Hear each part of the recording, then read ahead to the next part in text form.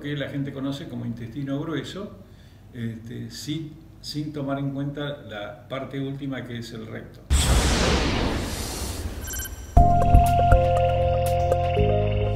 La incidencia es una incidencia alta, se calcula el INC, calcula alrededor de 14.000 casos nuevos por año de cáncer de colon y este, ya, ya de por sí eh, toda persona mayor de 50 años es una, persona que tiene riesgo de cáncer de colon.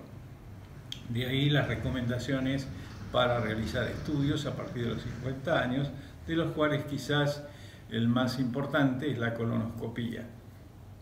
Eh, a su vez, existe cáncer de colon que eh, tiene, está relacionado con enfermedades previas, y o bien en caso de este, antecedentes familiares.